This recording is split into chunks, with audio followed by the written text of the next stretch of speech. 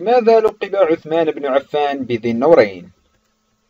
تعددت أقوال المؤرخين وأصحاب السير في تسبي... سبب تسمية عثمان بن عفان رضي الله عنه بذي النورين فقيل لأنه تزوج ابنتي النبي صلى الله عليه وسلم رقية وأم كلثوم وقيل إنه ينادى بذلك اللقب في الملأ الأعلى وروي إنه سمي ذلك لأن برقتين تبرقان له في الجنة حينما ينتقل من منزل إلى منزل. وذكر الإمام أبو الحسن القزويني روايتان في سبب تسمية عثمان بن عفان بذي النورين. أحدهما لأنه كان كريما في الجاهلية وكريما في الإسلام. وفي رواية أخرى بسبب اجتهاده في العبادة حيث كان يختم القرآن في وتره فعرف بذي النورين لنور قيامه بالليل ونور قراءة القرآن الكريم.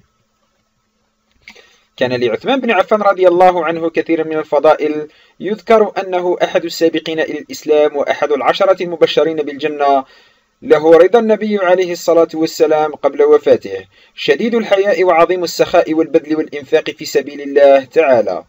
فقد أنفق ماله في تجهيز جيش العسرة كما اشترى بئر معونة وجعله وقفا للمسلمين في المدينة. حكم الأمة الإسلامية 12 سنة فاتسعت خلالها رقعة الدولة الإسلامية.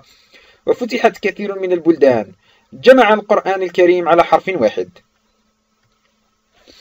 استشهد عثمان بن عفان رضي الله عنه مظلوما على يد جماعة من البغاة. أرادوا إيقاع الفتنة في أمة محمد عليه الصلاة والسلام إلا أنه لم يثبت من قتله.